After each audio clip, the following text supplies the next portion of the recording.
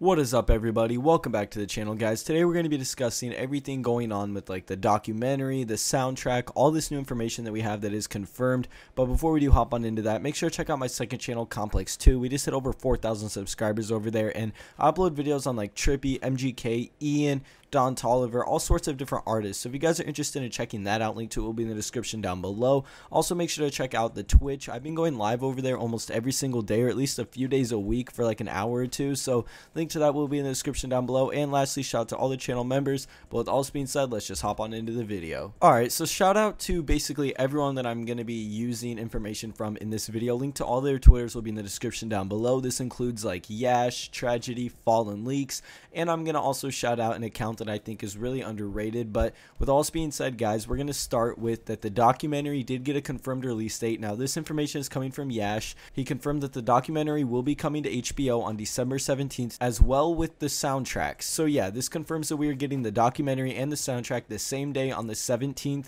of December, which is a Friday. This is like the second or third Friday of December, so it's not dropping on Juice's birthday or the day he passed away, probably because I don't think either of those are a Friday, but this isn't too far off from either of those, and honestly, this is only like a month away. Now, before we hop on into this other section of news, I do want to go ahead and say that keep in mind that everything is subject to change. I think that Legends Never Die was a perfect example that the tracklist can be completely done and submitted, and it can still change. They did that by adding on other songs and taking songs off of Legends Never Die literally right before it dropped. And keep in mind that this documentary, soundtrack, Fighting Demons, whatever you want to call it, it is still not submitted or turned in officially yet, not to my knowledge at least. So a lot of this is still subject to change, but I still want to discuss and kind of go into what these confirmed songs as of right now are. Now, I can't necessarily say who gave me the information that these are 100% confirmed, but I was talking to a few people throughout DM. Shout out to everyone that gave me information and was just helping fill me in on where this was coming from.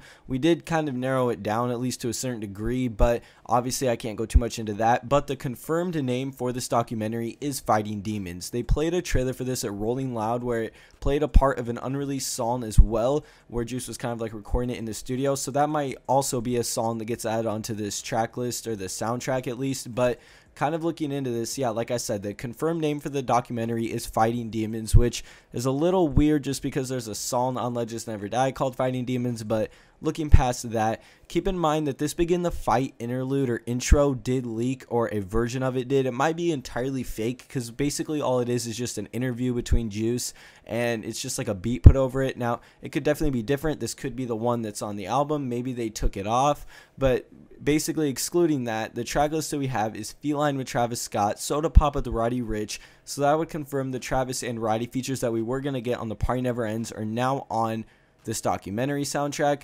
But this track list also has like Adore You, Pills in the Regal, Already Dead, Go Hard with Uzi, and Christmas List. Now, looking at this, the confirmed songs, or at least out of these confirmed songs, basically all of them are leaked besides Go Hard with Uzi and Christmas List. Now, kind of where I sit on that is I honestly don't care if songs leak or drop. I would rather just get them one way or the other. If they drop, I'm going to listen to them. If they leak, I'm going to listen to them. That's just where I sit on it. There's definitely songs that I think deserve to be released though. Stuff like Adore You and Those in the Regal I think are just perfect examples of songs that need to be released. So I hope a leak doesn't affect either of these and that they both do end up dropping. But I also want to talk about that that kind of older track list that we had that had a lot of these songs on it as well as the song with Miley Cyrus, Trippie, and Chainsmokers, it was confirmed that this new track list or this new documentary track list is still going to have love, hard, and sad theme songs on it, and that the songs with Miley Cyrus, the Chainsmokers, and Trippie Redd will not be on the album. Now, some of this could definitely still be real because if you guys don't remember, they were looking for like the studio sessions for Feline a while back,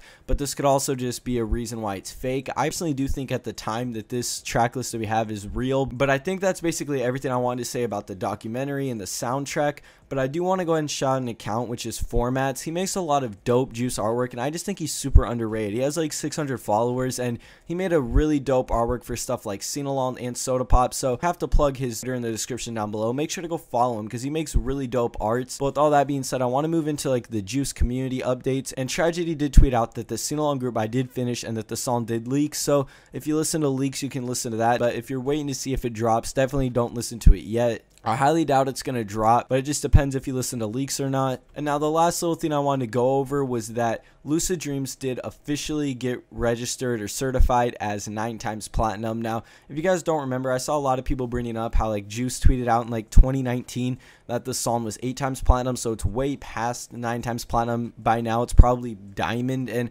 I agree. I think the song is diamond. It's just that the label took so long to submit basically all the new certifications for the album and new streams for stuff like Goodbye and Good Riddance, Death Is for Love, World on Drugs, Legends Never Die, all the singles. I think Juice got like over 50 new certifications today, which is crazy, but yeah, I'm pretty sure within the coming months we will get confirmation that Lucid Dreams is certified diamond. But with all that being said, guys, that's all for this video. If you are new here, make sure to follow me on Instagram at Complex Productions 999 and my Twitter at Complex Discuss. Thank you guys for watching, and we'll see you in the next video. Hey Ross, sauce it up. Lay beats, this go crazy.